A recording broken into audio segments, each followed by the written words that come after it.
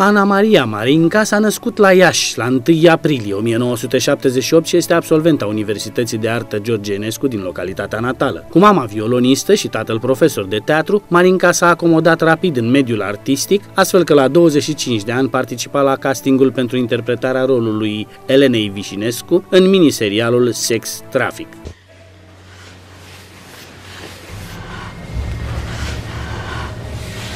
Toată legea aveți. Vrei să omor copilul tău? Ha? Pot să-l trimit acum cineva să omoare copilul tău, vrei? Ha? Ha?